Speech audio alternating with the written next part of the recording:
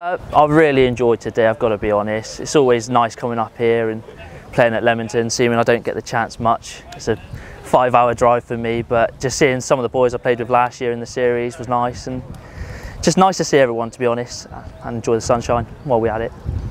Season's going quite well, actually, yeah. Um, I'm through in the triple, well, I've got one more game in the triples, through in the junior stuff.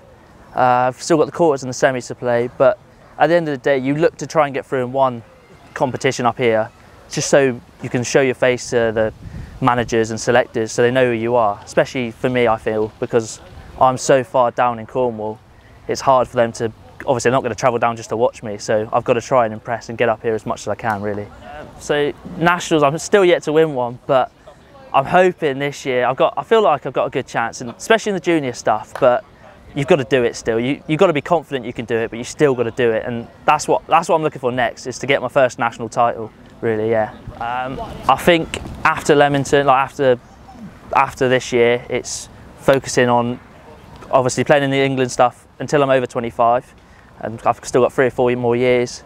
And then it's looking at the senior stuff and just trying to get out there so the senior manager can see me and if I can play for the senior team that would be amazing and then obviously you've got the Commonwealth again which is a step above that. So, um, so I was quite lucky. My whole family pretty much do it. My dad does it. Both my brothers do it, and that does help having someone in your family play bowls.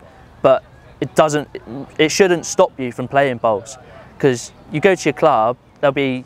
There's always. Well, there's getting youngsters now at each club, and if there's one or two, more will come. But it's just getting those first few youngsters to get together, and honestly, they'll love it if they do all get together and play. I mean, I haven't experienced much like that, but it has the weirdest I would say is probably just when a dog runs on and like grabs a jack with its mouth or something. That's happened a few times. I think it's happened up here once as well when I was playing, but I think that would have to be it for me, yeah.